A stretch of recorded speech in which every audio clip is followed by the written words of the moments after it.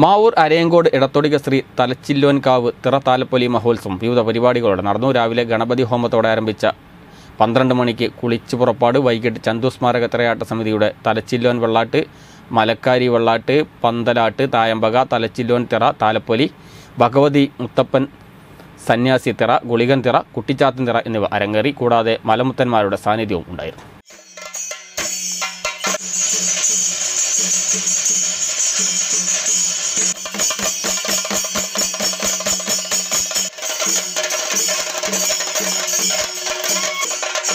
Thank